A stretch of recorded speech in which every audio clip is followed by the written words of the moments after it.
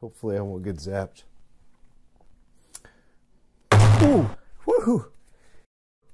Yow! Today we're going to do something super special. Uh, I've been hitting up these estate sales a lot lately just to try to get some CRTs and other old tech. And luckily for me, I've been able to find a few of them and I actually won some items. So today we're going to go and we're going to pick up those items, uh, a couple CRTs, some other hardware, and we'll see how all this goes because uh, this is always an adventure. I have to drive about an hour from my shop here to pick up the items.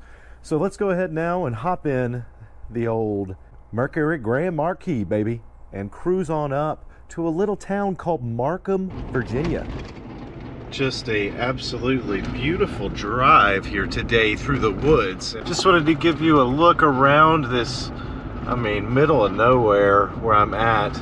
There's a nice big house that, a lot of abandoned properties back here, and then really nice houses. But that's where we're heading back from. I did get the stuff, and uh, it's actually in the trunk because I had to put the bicycle back here with me. Uh, but nice drive. I'm going to show you all the things I got here in a second because I think you're going to have uh, have quite an enjoyable time checking out the estate sale CRTs. All right, let's see what secrets we scored. Not a whole lot back here. First off, check it out. Did find this cool Sanyo tape deck player. Now the problem with it is that it doesn't have the power supply with it, so it's not a simple power cable. It's actually got a DC power supply right in there. So we need to figure out what we're going to do with that. We'll take a closer look at this inside, especially if we can find a power supply for that thing. M7700K by Sanyo. Now, the real deal is this one the Sony Trinitron, baby. Look at this lovely, cool RF only Trinitron. I think it's RF only. Wow, yeah, look at that. UHF and VHF, my friends. Now, this is the KV9400, and this is actually older than I am. It's from 1980, so we finally have scored a CRT older than me. Man, I hope this thing works. Oh, it's heavy. Let's get it down into the bunker and see how it looks. All right, let's take an opportunity to look closer at this amazing KV9000, and we'll even try a test run. Man, it's got some color, hue, and brightness adjustments over here. Auto, okay. So I don't know, that's probably going to be wild looking if it's not been messed with in a long time. If it even turns on, right? Uh, if we look back here, we've got color controls, screen. This is our uh, back of our flyback, most likely, entrance to that. Now it does have UHF and VHF connections, as I said. Okay, I've got some things set up here. First off, this little RF modulator takes composite, spits out RF, and that's connected over here. I, am thinking VHF is the right one. I can't remember off the top of my head, but I believe VHF is the frequency I want to try to get channel 2 or 4 into. I've got this little adapter that lets me go coax into this old school antenna connection. So let's hope that will give us a signal. Now, when I turn on the Famicom here, I'll get a red light there. I'll get a red light here saying my uh, box is on. Actually, it's channel 3 or 4. So we'll start with channel 4. That means it's getting a signal. I do have the CRT powered, well, plugged in, not powered on. And let's do it. Let's go for an initial power test here of the KV9000. Oh my goodness, I'm kind of nervous that it's not going to work. But let's just see what happens. Oh, I think I hear some life to the set. Let's see. Oh, yeah, we got some scrolling. Oh, we actually have a screen here. So let's see if we can figure out what the heck to do even with this guy or how to change channels. C7, 2. Oh my gosh, I have no idea what channels these are, right? Let's try channel 3 on the modulator. I don't know what channels these are giving me, right? So let's go over here. Um, whoops, so that's my thing there. This is channel 5. I don't know. Maybe let's go to this one. What happens when I like scroll this around? It says here, turn knob until the desired channel is properly tuned. Uh, lower number channels. So I don't know. Let's see. Oh, we're getting somewhere. Um, okay, this is going to take a minute. Let me see if I can figure out how to use this old tuning machine. Holy moly, this is way crazier than anything I've ever seen before. But thankfully, the screen's working. So hopefully, it's just a matter of us getting something on there uh, to show up. So let me work a little bit more with this whole setup, and we'll see if we can't get a screen or a nice image on there for you. All right, well, that only took me about 20 minutes to try to figure out, but you can tell I've got a picture on here now just the normal picture. I'm going to try to turn down the brightness on there some so you can get a better look at it. We've got all colors. It did take a while to tune this. It definitely is the VHF. And then I had to go in here and do the old school tuning of a number between two and four, and that's what I've got here. So let's just let's just check out something on here. About Super Metroid since it's got a lot of dark backgrounds? Look at this. I mean, there's definitely noise in the image because I mean it's not been serviced, of course, but looks pretty good right now. I love that glass overlay, or it's not glass; it's actually plastic. But yeah, what do you think? Let's see. Let's see if we can get some volume. Yeah, we have.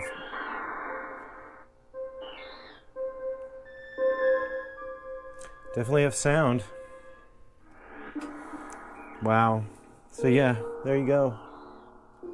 Interesting picture, huh? Let's turn it down. Cool. Well, at least this one works. Uh, I did only pay $22 for this. I think I paid 20% fees on top of that, so another $5 almost in fees for the auction house. And that's about it.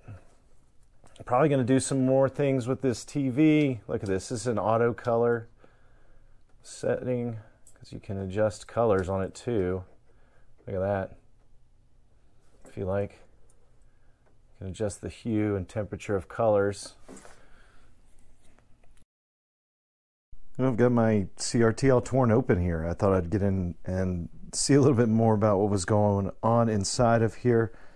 First off, here's our tube number. It's a 250AK-B22 with an orange Trinitron label that is made in Japan. Here's our lovely yoke. Pretty nice yoke for a 9-inch tube. And then if you see here, I don't actually want to discharge this tube. That This is the weird setup that is on actually the 2530 PVM, which I've never seen a breakout like this on a smaller one. That's kind of interesting to me. This uh, little contraption here, probably, yes, it, it is going to control our horizontal static convergence if we spin that wheel, and we'll do some of that in a minute when I start it back up. But that means that this has that style of anode cap where there's like a little plastic connector under there. And if you mess that up, it's really easy to snap a little piece of it off. And if you mess that up, uh, you'll never get the picture to look quite right. And you can't find a replacement for these anymore. So just a look down here. This is where all our power and deflection is down in here. The flyback transformer neck board has a lot of color controls on there. Everything's looking pretty good. I mean, I'm going to clean it a little more, but other than that, it doesn't look too bad. Over here's more color controls and really tuning controls for the set over on this side. And, uh, and if we look over here, this is the top. I did take the speaker out, which is a nice shielded, look at that, shielded uh, 1.5 watt, 8 ohm Sony speaker and then this is the top. I've taken this all apart just to try to clean it a little more. I'm going to try to avoid taking out all the channel selectors and things. This is about as far as I want to take this apart. But I'd also like to get the screen out and try to clean under the front, but I don't want to take the whole TV apart. We'll see if this is even possible uh, here in a second. I'm going to try to move some things around, see if I can get that tube maybe moved out to the side over here a little bit and not have to worry about tearing down everything because like I don't want to remove the flyback at all. All right, let's see what I can figure out. All right, well, the entire CRT, as you can see, has been broken all the way down. And I had to remove the tube and the chassis and everything in one bundle like this. I could break some of these boards out make it a little easier. But again, I don't want to mess up that flyback at all because if I do, it is toast and this TV is pretty worthless after that. There's another look at that tube number down there and our deflection yoke right up in here, and then our neck of our tube. And then if we look over the boards a little bit, this is our CRT socket right there on this neck board. And we have some adjustments on here, but this is a really old school neck board. You see that's a primitive early design for the CRT socket itself in there that Sony eventually changed. Uh, that's quite interesting. But you have color controls up here, manual color controls by these variable uh, potentiometers, resistors, resistant potentiometers that are going to have variations. Uh, then you can actually adjust them from the other side.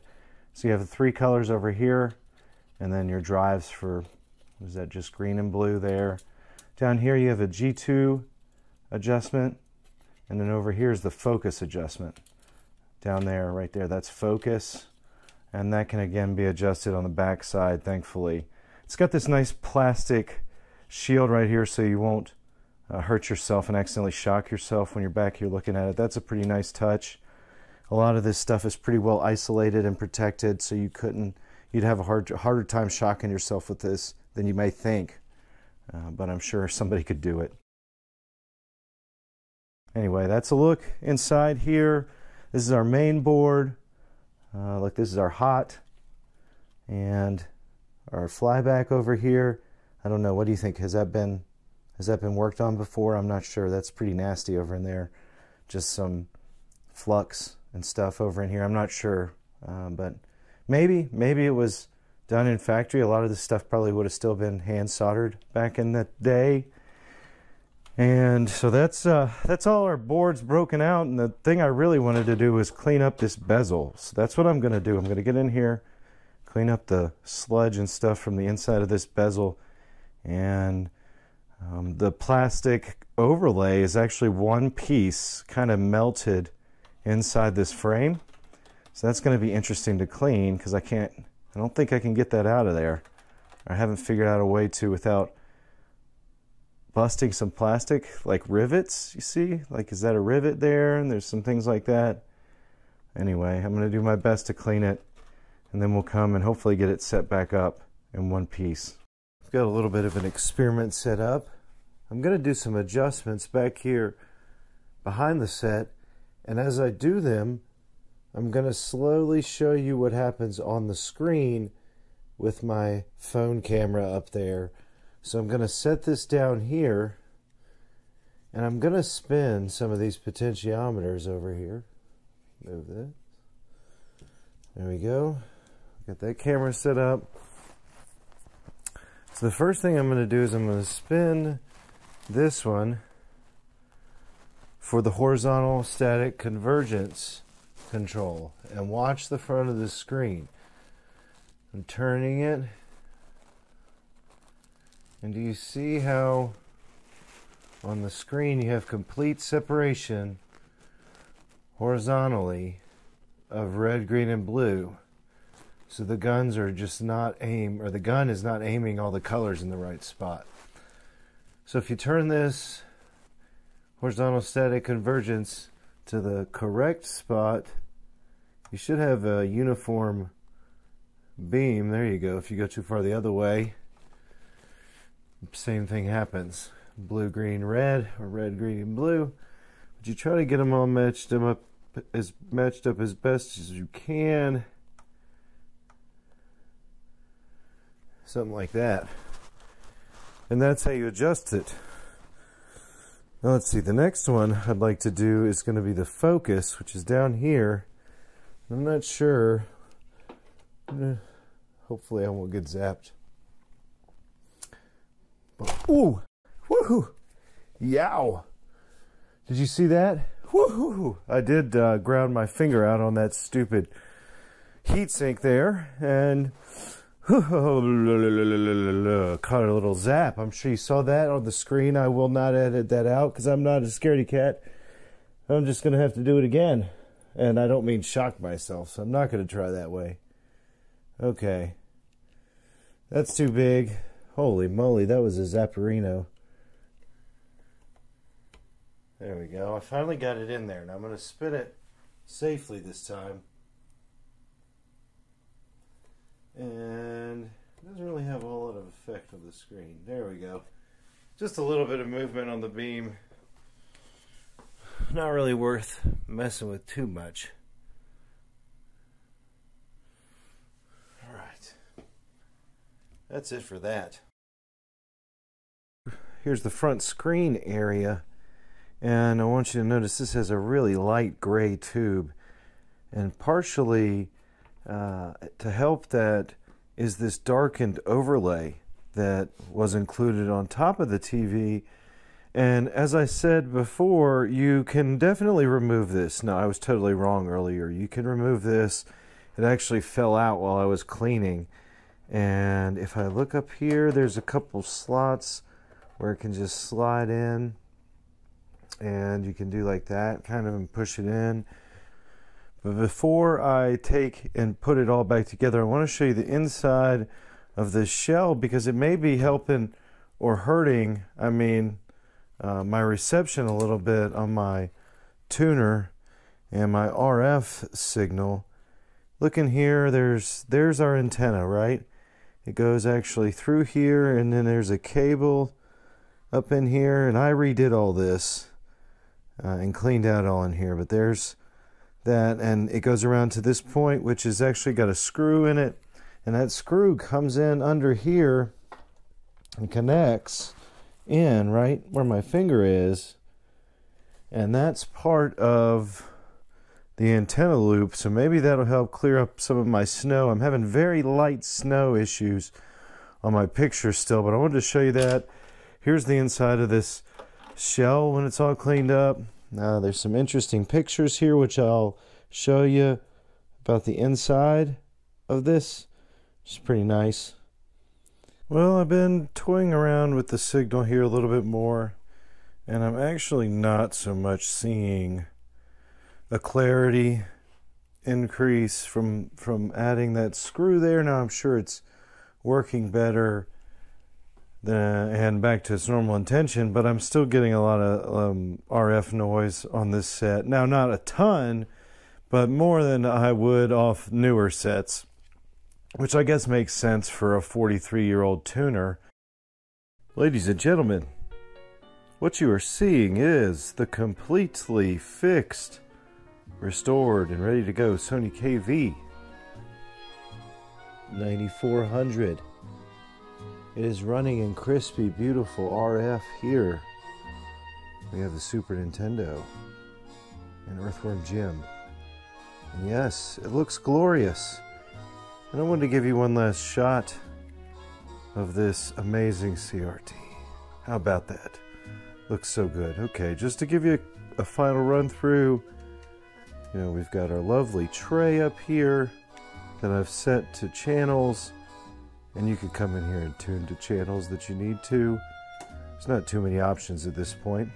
Got our picture adjustment and then our volume. Oh yeah. So that's nice. The speaker's right in here. This is our antenna. And then our screen does have that overlay on it. So that kind of does help on the softer image due to that RF fuzz, which sometimes you get. I mean, right now I'm not getting any RF fuzz, so it looks really nice. I love the patina on these old sets. Just came out wonderful. Here's our little hue and color adjustment knobs down here. And this is our auto color, which it's off right now, but it's so tuned in that you can barely tell the difference between on and off. We have a brightness control over here. On the other side, there's nothing really on the other side there. Down at the bottom, you do have a couple of earphones for mono earphone inputs. There's our input board, right? What a lovely input board. How, how high tech, how wonderful of an input board. Easy enough, right? Well, folks, there you have it. Such a wonderful, fun little novelty CRT. And you could play video games on this like, like it's sitting now. It's not a big deal. But it's not something I would think you would want to use as like your daily CRT if you had another option. And the great thing about this one is it's 9 inches. It's an iconic Sony. It's from the 1980s. It works perfectly, I guess, as intended, you could say. Uh, but all around, you could get much newer CRTs and get a better picture experience, unless this is what you're looking for. You know? So I don't really consider this a high usable CRT. Again, more of a fun, novelty, beautiful art piece that works, that you can get a signal into if you go to more lengths. I mean, right now I'm using a RF modulator and I'm going in really with just RF into this set. So, anyway, what do you guys think? What do you think of this set? Does it make you want to buy more old sets? Does it make you want to look for specifically an old Trinitron maybe? Let me know what you think in the comments below. And please leave a like for me if you enjoyed the video. I'll see you guys next time with some more retro content.